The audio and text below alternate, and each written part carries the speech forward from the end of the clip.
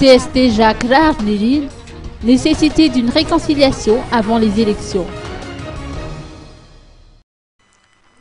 En vue d'élections apaisées et non contestées, et pour l'avènement d'une quatrième république assise sur de bonnes fondations, le GEC, par la voix du CST Jacques Raarnérine, réitère la nécessité de la tenue d'une véritable réconciliation sous la houlette du FFKM. Après la réunion au CCI d'Ivat, le FFKM poursuit ses consultations. Et il est faux de penser que ces résolutions ont été enterrées subséquemment à la diffusion du calendrier électoral par la Sénite suite à de fortes pressions de la communauté internationale. Le GEC croit fermement au dialogue malgacho-bagache initié par le FFKM qui doit précéder l'organisation d'élections. Il réaffirme son soutien aux quatre chefs d'Église à continuer d'œuvrer dans ce sens.